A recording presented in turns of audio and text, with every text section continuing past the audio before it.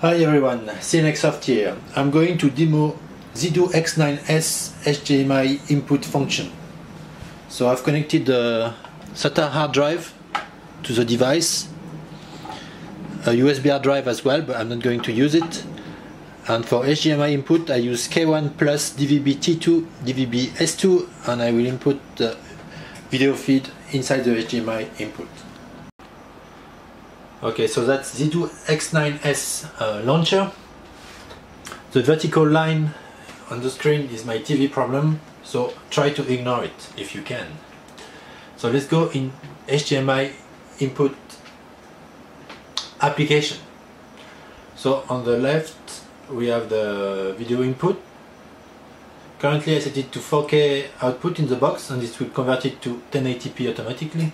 So that's the good part and on the right you have some options for resolution. Frame rate.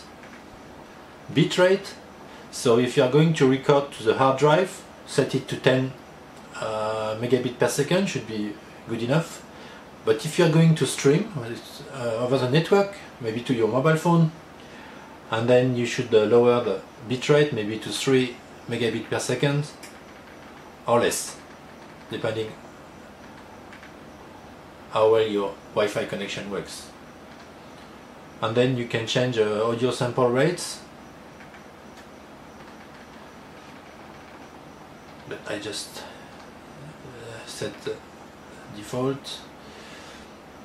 Output mode you have file on broadcast, but you don't need to change this because you can select at the bottom. Uh, video duration, I haven't I haven't really used it and path.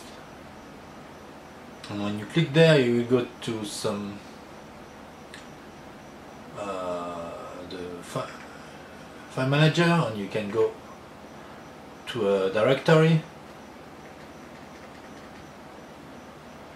I set one called HDMI in and you can select it and this is where I will record it inside the SATA hard drive.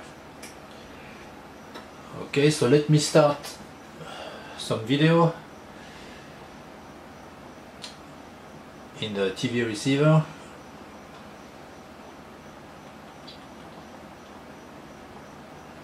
DVB-T2 this is in K1 plus ธมิตรที่เกี่ยวข้องกับองค์กรต่าง okay ๆต่อมาครับในการตรวจวินิจฉัยตัวเองนั้น เกณฑ์ยังให้ความสำคัญกับการ So you can have the live preview like this.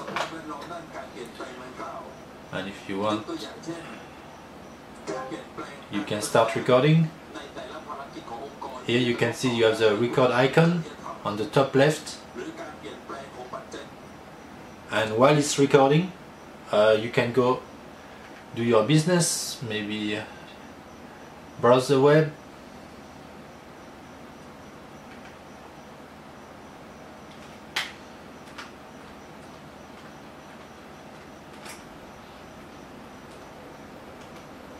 oh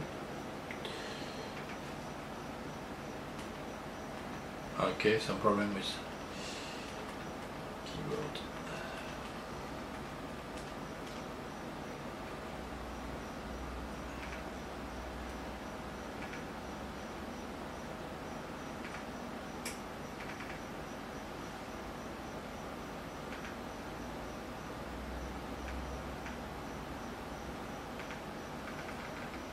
Ah, I for some reasons I cannot use uh, I'm using an air mouse um, MINIX air mouse and I cannot scroll using the air mouse function. So I have to use the page up and down to scroll the web page.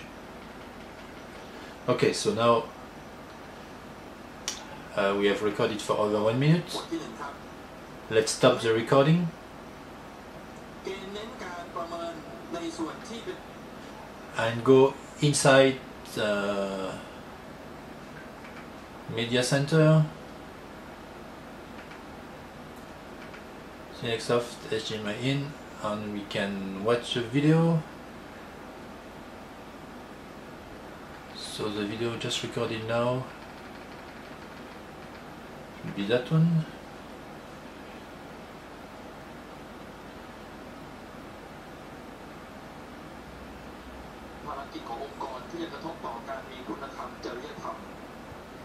การเปลี่ยนแปลงของปัจจัยภายใน และปัจจัยภายนอกองค์กร ที่จะกระทบต่อคุณธรรม จริยธรรม ทั้งนี้เมื่อองค์กรได้ตรวจประเมิน หรือวินิจฉัยองค์กรเป็นที่เรียบร้อยแล้ว ซึ่งในหมวดนี้ Okay, and even I go to do some web browsing, in the meantime, it seemed to have recorded the video just fine.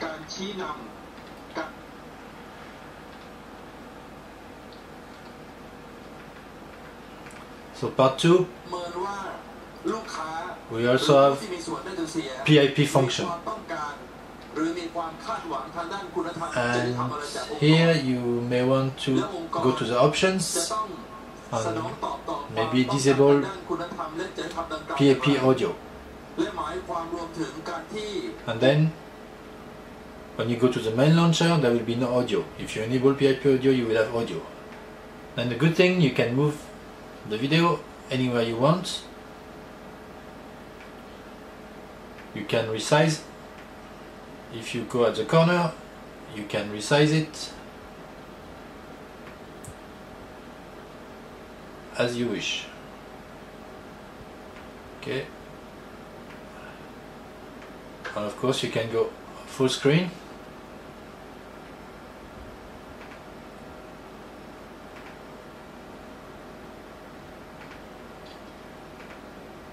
and go back in PIP mode.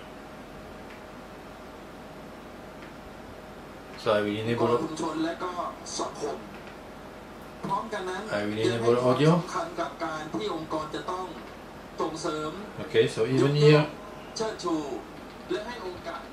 we have audio and again I can go to the web browser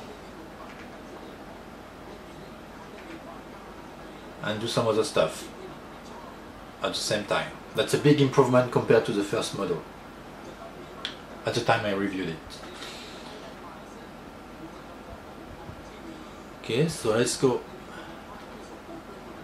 back to HDMI in function. Before I go to broadcast uh, I can show you this plus here is to uh, set schedules. So maybe if I want to start recording in one hour I set this I press OK OK on the remote and the clock icon uh, you can check all the recordings Ah, okay and will also use the pass you were currently using. This one is for streaming. And that's exactly what I'm going to show now. So I can change the bitrate. Uh, for this purpose I will change the bitrate to 3 megabit per second. And here I will click on Start Broadcast. This is set to multicast. And you have the address here and this is the important part on the bottom left here that you have to input in your computer if you use VLC you open network stream and you can uh, play the video. And if you use a phone I'm using an app called uh, Good Player. Okay. Um, Good Player. And uh, if you can see there is a stream here I already input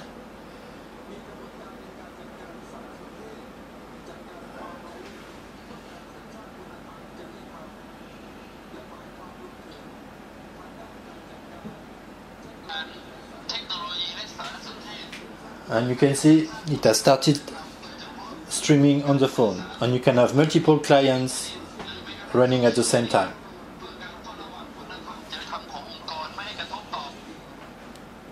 Uh, okay, so at the beginning I had some some problems. Audio was not was not really working well so I try different settings, and here you can set HDMI RX to RAW. Uh, that means if you want to record AC3 in theory, you can do so. So I also set the video recorder to HDMI pass-through and play an AC3 video or just uh, use PCM and in both cases when I press when I press start record it will say start HDMI in record failed and start broadcast will also have the same problem. So if this happens to you and you don't know why come to check the audio settings and make sure you set it set this to PCM okay so HDMI is quite a neat feature and is working relatively well. Thanks for watching. Bye bye